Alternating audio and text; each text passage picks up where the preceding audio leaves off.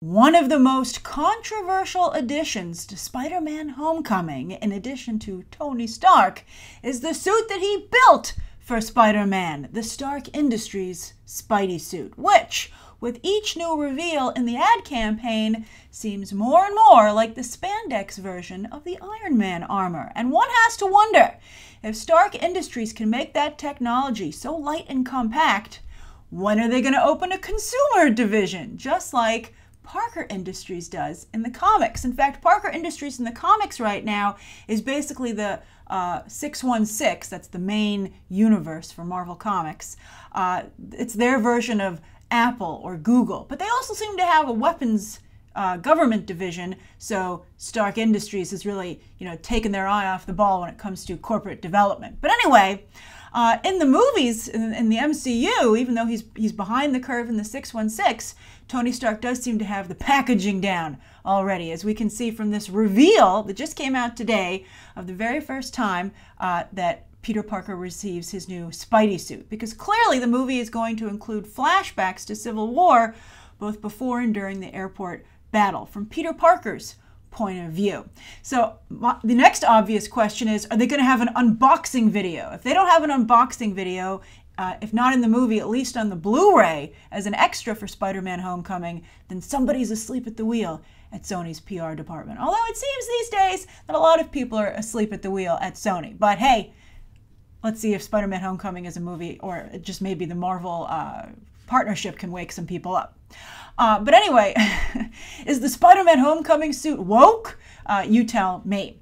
So, yes, the new suit mirrors the one currently in the comics. So, there's some synergy there, right? They're like, oh, well, people are reading the comics, the Spider Man comics, which are quite good, by the way. Dan Slott's been writing that title forever. He does a fabulous job. And Stuart Immonen, one of the best artists in the comics, is currently uh, partnered with him. But anyway, they're like, wouldn't it be, you know, isn't it important?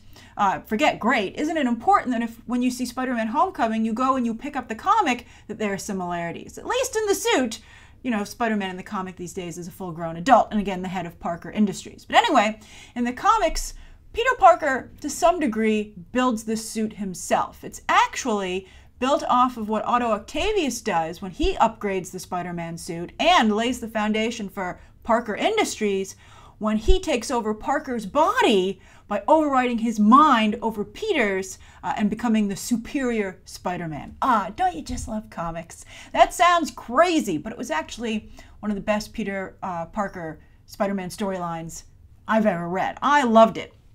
And when uh, Otto Octavius upgraded the Spider Man suit, he gave it uh, octopus arms, uh, aka spider legs, right? He's like the theming, the theming matches, but also a bunch of other tech that he built into the suit. So while Parker wanted his mind back, he wasn't above keeping some of Otto's ideas. Ah, the delicious irony! I love it.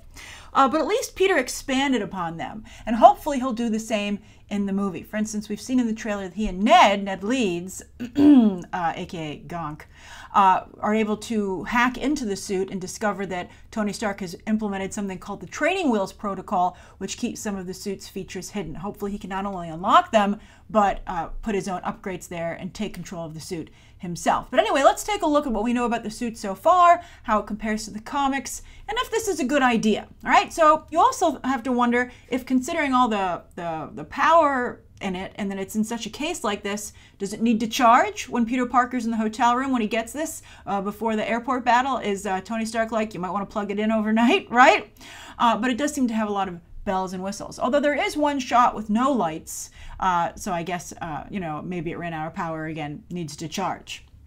But interestingly enough, uh, when some of the hard light constructs come up, you can see a, a web shooter schematic on the right. I'm guessing the thing on the left is either an earpiece or a tracking device, uh, something clearly the suit has both of. And obviously there's no instruction manual because a lot of these functions weren't used in Civil War.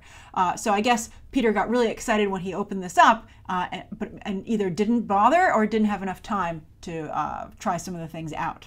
And he still kicked butt anyway, and he should remember that that he was so instrumental in win, uh, you know, well, I don't I don't think anybody really won that battle come to think of it, but he really helped um, his side uh, do very well uh, without knowing very little about how this suit functions. So when they're discussing about whether or not he needs the suit or if he's nothing without it, somebody should bring that up. But here's where it gets interesting. I was thinking about that, and you know, Tony's like, oh, you know, you just want to have all the toys, etc. That's why you want the suit. I don't think that's true. I think that when Peter says he's nothing without the suit, uh, I was, I, this came to me while I was writing my notes.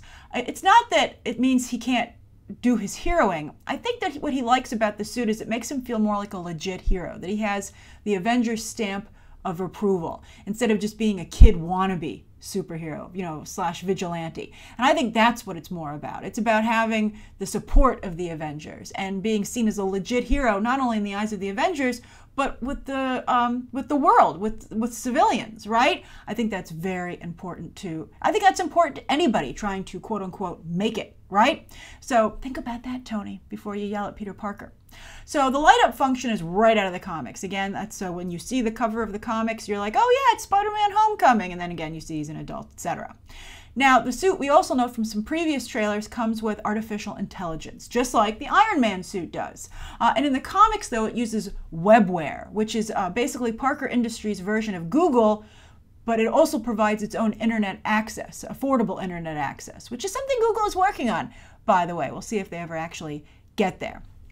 And that allows also uh, Spider-Man in the comics to tap in to everyone sometimes to their uh, webware devices. It's basically like an iPhone that you can strap onto your wrist. So uh, I think that there would be some questions to, you know, uh, everyone always talks about spying through technology, right? I think there would be some question as to whether or not that's appropriate, that Peter Parker would use webware in that manner, even if it is to be a hero. Uh, and that seems like something more that Tony Stark would do or Otto Octavius. But anyway, uh, we'll see if they ever come to that in the movies. But also, look at this. This has also been revealed along with how this comes in a uh, cool suitcase. It's that this is Spider Vision, which looks a lot like Iron Man Vision. Uh, now, uh, just like in the comics, his suit gives him now access to government and police files. So now it's become not just the Iron Man suit, but to some degree the Bat computer uh, you know, you're really rolling a lot of heroes into one here. I think this would be very hard to read. I mean, the Terminator has no problem reading all these files, but he has a computer brain, so he therefore it's. Although if he has a computer brain, why does he need to look at it, right? I guess that's just his programming running. Uh, but you know, if, if a computer didn't have to interact with a human, would it have a screen? Interesting. All right. So anyway. What's also revealed is that they allow the AI to keep talking in this spot, uh, and it says uh, you have 78 web shooter combinations fascinating. Who programmed those in? I don't like the idea that it's not Peter Parker programming them in. I, I really feel that if Peter is going to go on this path, he needs to own it. He can't just be playing with someone else's toys. But then the question is, is, is the 78 web shooter combinations just how they're used? For instance, also in this spot, they have him calling out what he's using. Ricochet web, web grenade. Are they doing a voiceover for when he goes over, he finally finds the manual and goes over everything that he has at his disposal? Or are these voice commands? And he does use voice commands in the comics, by the way, uh, not only to uh, activate certain elements in his suit, but to change his web cartridge because uh, he has different kinds of webbing in the comics these days. Otto Octavius, by the way, made the, uh, the webbing stronger and bulletproof. And then while Peter in the past has always sometimes created, you know, throughout the throughout the Spider-Man history, has always created sometimes uh, specific webbing to solve a specific problem, he would then usually retire it. But what's happened recently after Otto Octavius is that now Spider-Man uh, swings into action with a variety pack of web cartridges at his disposal. So I'm wondering if that'll be the case here as well. You know, foam webbing webbing. Uh, sometimes he has webbing that can ground electricity, uh, all kinds of stuff. Uh, and he's able, again, to switch that out with a, with a voice command. Uh, but here he'll be interacting with an artificial intelligence. So I'm curious to see that. Uh, now, uh, from before, what else we know about the suit is it has a recon drone, it has GPS tracking, which is something also that Otto Octavius introduced first in the comics. It has laser targeting web shooters, uh, and also apparently different uh, com web combinations. Uh, again, the fact that Peter Parker can just order those up instead of thinking of them, I don't know. I guess again, it's okay if he thought of them in, in advance, but I don't know. It's, I think it's a, I feel it's a little bit cheating. He also has web wings for gliding, adjustable lenses that we saw in Civil War, and also the, uh, the suit has an auto fit function, which will keep him from having any awkward uh, costume changes like Deadpool does in that teaser for Deadpool 2. Uh, so I'm glad he made the joke when he did, because it's no longer relevant. All right, so there is a history of gadgets with the suit in the comics, so I think maybe they're trying to honor that in some way. Like, for instance, they recently brought back in the comics the Spider Mobile via Parker Industries. I think the Spider Mobile is a tough sell. I hope it never makes it into the movies. I'm not even buying it in the comic books right now. But I have to say, I believe the appeal of Peter Parker, and I'm I'm a moderate Spider-Man fan. I really like what Dan Slott has done with the character, but I haven't always enjoyed his stories, uh, like I do like Batman and the X-Men. So I'd be curious to hear how those of you who are diehard Spider-Man fans, in particular Peter Parker, feel about what I'm going to say. So I feel that a large part of his appeal has always been that he's an average guy on whom not only great power is thrust, but therefore also, of course, great responsibility. But it seems in Spider-Man Homecoming they're they're changing that a little bit. That it's more about thrusting an average guy into great limelight with great gadgets, right?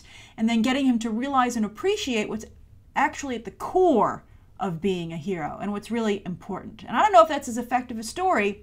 We'll see. I mean, we all know we all know that we need a new angle on the Spider-Man story for sure because we've already told that great power, great responsibility one uh, twice. So I don't know if this is, you know, a, a, a, an interesting, you know, maybe more modern take on it, considering, you know, social media and, and you know, you know social media fame and all that, and uh, all the technology that everybody has these days. But uh, or if it's just you know watering it down for the sake of changing things up and also adding Tony Stark to the story. And also, what do you think of this compared to the most famous "Am I wearing my suit or is my suit wearing me?" Spider-Man storyline? Venom, uh, which we're never going to get to because apparently Spider Man and Venom are now in separate cinematic universes, which makes no sense.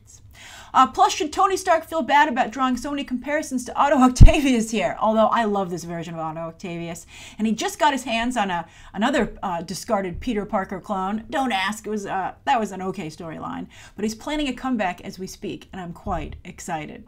So write your thoughts down below about the new Spider-Man Homecoming suit and what you think it means for both the character and the story. And you can check out some other videos right now.